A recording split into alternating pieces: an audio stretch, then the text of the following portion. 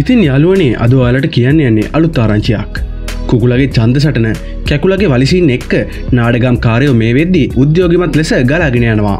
ඉතින් මේ අතර මාස්ටර්ගේ කුමුරු ප්‍රශ්න ගැනත් කතාවේ අතරින් පතර පෙන්න්නනවාලා දැක ඇති.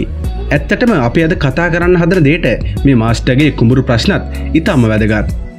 මාස්ටර් සරාගි උදව්වෙන් මේ කුඹුරු ආපහු යාගේ නමට හරව ගන්නවා. හැබැයි යාලා දන්නවනේ අපේ සරා ගොවිතැන් කරලා සල්ලිහම්ම කරන්න එච්චර කැමති කෙනෙක් නෙමෙයි. ඉස්සරහට මාස්ටර් කුඹුරු වැඩ ඔක්කොම තනියෙන්ම කරන්න පටන් ගන්නවා. වේදිකානාට්‍ය හෙම ඉවරුණට පස්සේ සරා සම්පූර්ණයෙන්ම කසිප්පු පෙරණ එක නවත්වනවා විතරක් නෙමෙයි. කුඹුරු වැඩත් මාස්ටර් එක්ක එකතු වෙලා කරනවා. ටික කාලයක් ඇද්දී සරාලට තේරෙනවා කුඹුරු වලින් එච්චර ලොකු ආදායමක් එන්නේ නැහැ කියලා. ඔය අතරේ අපි නොදන්නවා වුණාට මාස්ටට අයිති පුරන් කුමරුත් ගොඩක් ගැනත් කතාව කියවෙනවා. ඉතින් කවඩිය සරාට කියනවා ටවම කඩෙන් මාළු පැටව ගෙනල්ලා විසිතුරු මසුන් නැති කරන ඇක්වේරියම් බිස්නස එකක් පටන්ගම් කියලා. පස්සේ සරාලා මාස්ටර්ගේ පුරන් කුඹුරු ඉල්ලගෙන ඒක මාළු ඇති කරන්න ගන්නවා.